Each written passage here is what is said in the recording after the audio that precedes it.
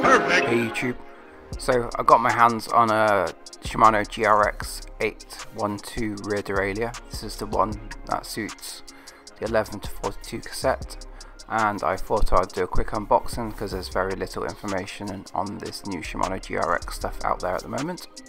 So looking around the box you can see it's ticked for the uh, 42 tooth max cassette. Um, the box is quite nicely presented. Um, nothing special but you know it's, it's pretty nice and it's got some sort of gravelly details on the front. Let's crack the box open and see what's inside. Um, opening it up, you're first presented uh, with uh, some information about how to recable your bicycle for this particular rear derailleur. The cable is included. So opening the flaps, we're presented with the GRX uh, derailleur.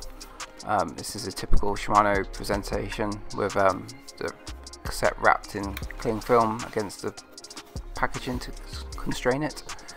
The bottom box we have a cable with the ferrules present on it, so it's um, you can do the instructions on the front, and there's some small instructions here that basically tell you to look on Shimano's website instead of um, providing you instructions. So pretty simple if you have the internet, if you're not, you're screwed. So let's get rid of this box and have a look at the derailleur. I love uh, the way Shimano packaged the derailleur, it's so efficient. Um, there's just a bit of this shrink wrap attached to the cardboard and uh, it gets tension when you fold up the box. Super clean and efficient compared to the ton of plastic SRAM usually gives you. It's much better.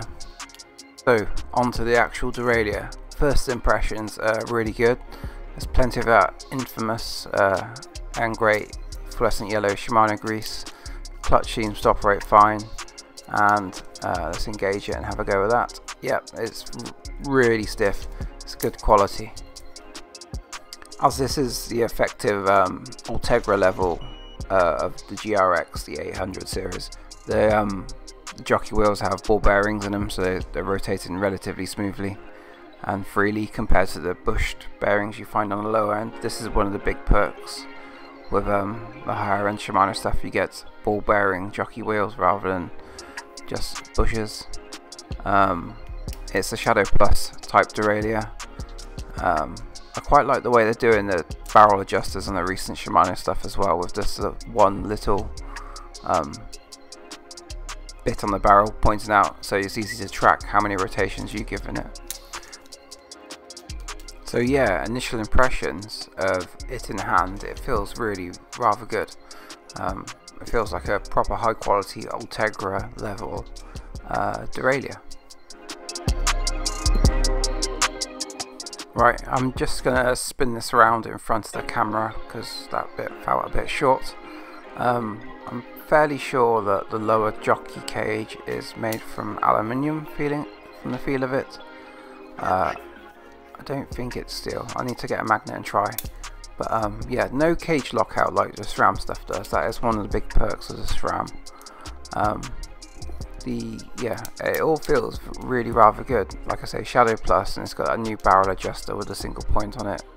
The B tension screw looks fairly long, so hopefully we might be able to hack it to do more than a 42 cassette.